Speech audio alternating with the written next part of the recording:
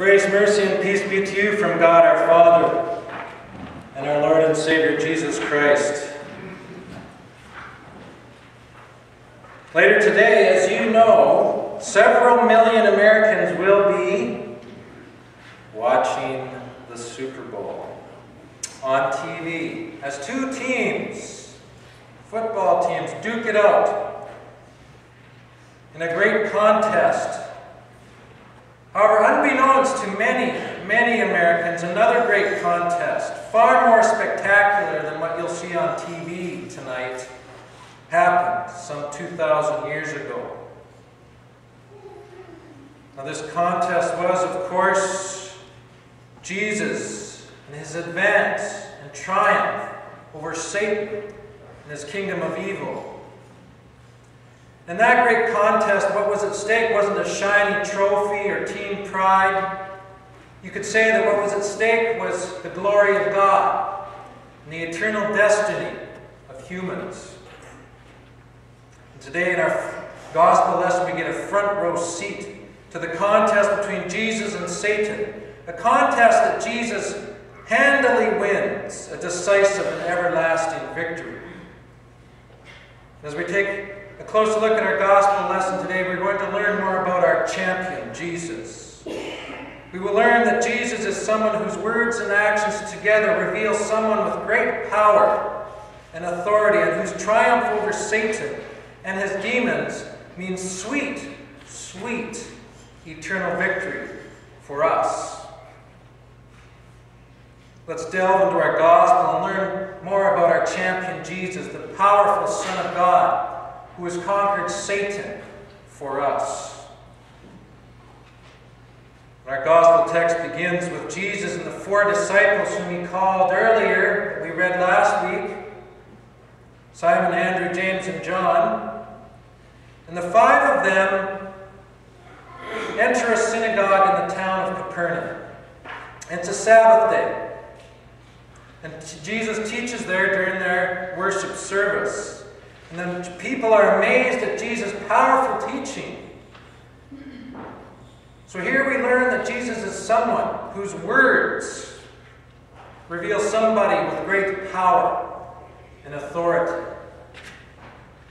Now, a little historical background is appropriate here. As many of you know, a synagogue was essentially the church or the worship building for the Jews. When the nations of Israel and Judah were defeated and the Jews were scattered, wherever they went, they set up synagogues, worship buildings, where they would meet every Sabbath, our Saturday. And they would hear the Word of God, what would be our Old Testament. And they had a liturgy. And they had a man get up and speak and preach.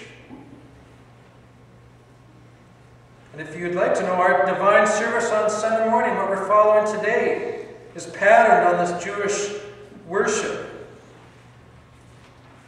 Now, oftentimes in those days, synagogue rulers would ask a guest to preach. Usually it was a scribe, a, professional religious teacher, but sometimes it wasn't. So in our story, Jesus would have been invited to preach. And preach did he. Boy, did he preach. The people were amazed at his power. For one thing, Jesus didn't teach like the scribes. And we have records of how the scribes used to teach. And according to some of these records, some of the things that they would teach bordered on what we would think today is silliness. They would teach things about how long the fringes of your cloak should be, about how big the phylacteries on your head should be. These were these little boxes that they had on their head that contained verses, Bible verses inside. They would talk and teach about how you should anoint and wash your cups, and how you should anoint and wash your platters, and how many steps you were allowed to take outside of your home on the Sabbath day. And their rhetoric was often filled with phrases like, Well, Rabbi so and so says this. Yes, but Rabbi so and so says this, and Rabbi so and so says this. Mind you, they were good scribes, of course. But how refreshing it must have been when Jesus stood up and taught the people and simply said, The time is fulfilled. The kingdom of God is at hand. Repent and believe the good news. Now we need to remember that it wasn't just Jesus' superior teaching skills that were the issue here. Jesus could teach with power and authority because he was the promised mouthpiece of God. He is the one that God promised the Israelites would come, just as we read about in our Old Testament lesson. God told the Israelites through Moses that a special brother among them would come, a prophet like Moses, who would teach, and you would need to listen to him. And he was going to speak the very words of God.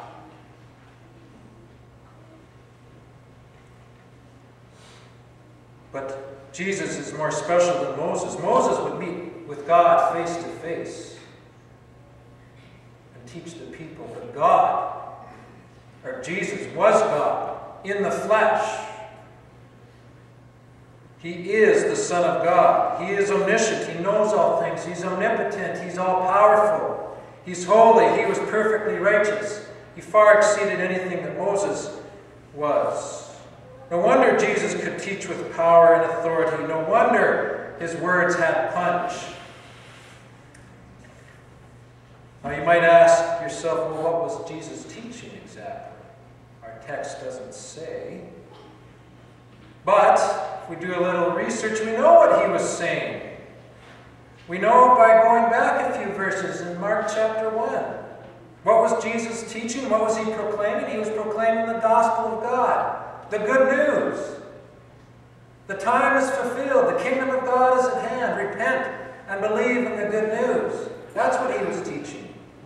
And he would also teach things like this I am the way and the truth and the life. No one comes to the Father except through me. And he would teach things like this I am the resurrection and the life. Everyone who lives and believes in me shall never die. The core of Jesus' teaching was himself. He is the good news. He's the one who died for the sins of the whole world. Remember the good news? Jesus died for my sins. That's what he preached. That's what he taught. But you know, this good news wasn't good news for everybody. This good news was actually bad news for Satan and his demons.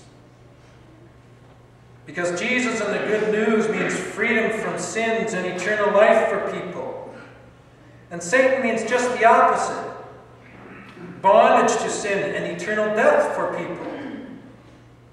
Jesus is the greatest and only threat to the existence and power of Satan and his demons.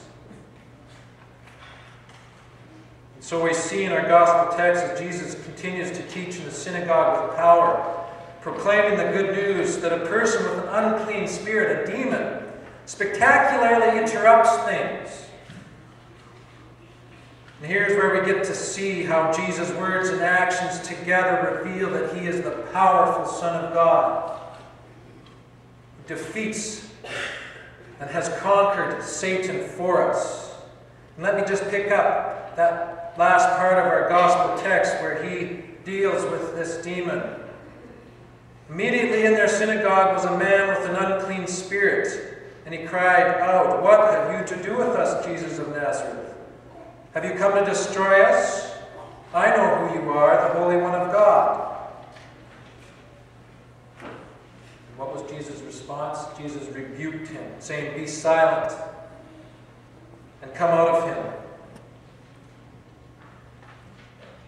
And the unclean spirit, convulsing him and crying out with a loud voice, came out of him. And the people were amazed, and they questioned among themselves, saying, What is this? A new teaching with authority. He commands even the unclean spirits, and they obey. Wow.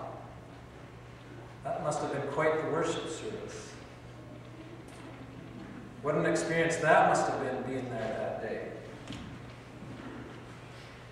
Now, here's the deal, friends there are good angels and there are bad angels. The good angels worship and serve God, who is light and life.